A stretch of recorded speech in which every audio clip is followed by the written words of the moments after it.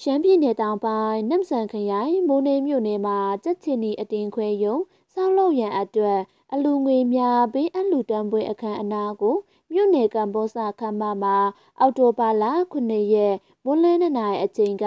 ကျင်းပပြုလုပ်ခဲ့ကြောင်းသိရပါတယ်ရှင်။အ ခမ်းအနားမှာမြို့နယ်စီမံအုပ်ချုပ်ရေးအဖွဲ့ဥက္ကဋ္ဌဦးဝင်းမြင့်ကအဖွဲ့အမှားစကားပြောကြားခဲ့ပါတယ်ရှင်။မြို့အင်္ဂါရက်တစ်ခုဖြစ်တဲ့အထက်မှာအပါအဝင်ဖြစ်တဲ့ဒီကျချင်းဒီအသင်းဝဲရုံဒီအသင်းဝဲရုံတွေကျွန်တော်တို့တွေစတင်ပြီးတော့မူလအစပြုခဲ့တာတော့ကျွန်တော်တို့ရုံညင်နေရရရှိပြီးစတင်ပြီးတော့ဟောကျွန်တော်တို့ဆောင်ရွက်ခဲ့ရပါတယ် ဆက်လက်ပြီးကြက်ချင်နီအတင်ခွဲဥက္ကဋ္ဌဦးတိုးလာကမြို့နယ်ကြက်ချင်နီအတင်ခွဲယုံစောက်လို့ရခြင်းနဲ့ဆက်လက်၍ရည်ရွယ်ချက်များကို၎င်းရှင်းလင်းပြောကြားခဲ့ပါတယ်ရှင်ကျွန်တော်တို့ဒါဒီဆောက်ရခြင်းရဲ့ရည်ရွယ်ချက်ကတော့ပထမဆုံးဒီသမိုင်းကြောင်းလေးပြောရတော့ဒီတက်ချီနီအသင်းဆိုတာဘာလဲပေါ့တက်ချီနီရဲ့လှုပ်ဆောင်ချက်တွေကဘာတွေလဲတက်ချီနီဆိုတာလူမှုကရုဏာပြုလုပ်ငန်းတစ်ခုဖြစ်ပါတယ် အဲ့တော့ကရုဏာဆိုတာဘာလဲကရုဏာဆိုတာဒုက္ခရောက်သူတွေကိုဒါကူညီကယ်တယ်ပေးတဲ့အဖွဲ့ဖြစ်ပါတယ်အဲ့လိုဒုက္ခတွေလည်းလေဘေးတို့ရေဘေးတို့မိဘေးတို့ငလျင်ဘေးတို့အခုကပ်ယောဂါဘေးတို့တဘာဝဘေးတို့စသည်အဖြစ်ရှင်းပြုစုခြင်းဆိုင်ရာဒီတင်တန်းတွေကိုရှင်းပြုစုခြင်းဒါအရေးပေါ်အခြေအနေများကိုကူညီပေးခြင်းဖြစ်ပါတယ်ကျွန်တော်စပြီးတော့ဒီဥက္ကဋ္ဌဖြစ်တာဝန်ယူတဲ့အချိန်မှာဒီဘေးအနေနဲ့တစ်ချိန်ကျွန်တော်တို့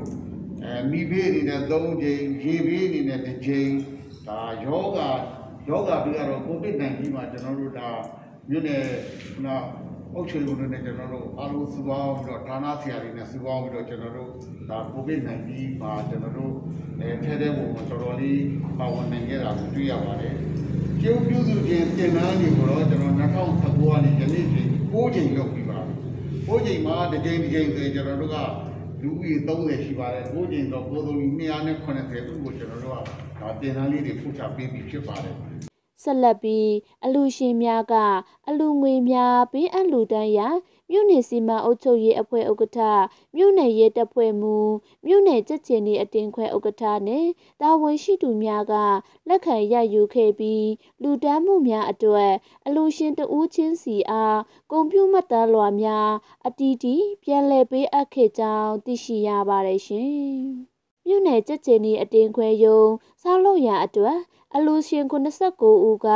စုစုပေါင်းငွေကျပ် 59တိန်း25000ကျပ်ကိုပေးအပ်လူတန်းခဲ့ကြောင်းသိရှိရပါတယ်ရှင်။ဒီတည်င်းကိုမိုးနေမြို့နယ်ပြန်ဆက်ကပေးပို့ထားခြင်းဖြစ်ပါတယ်ရှင်။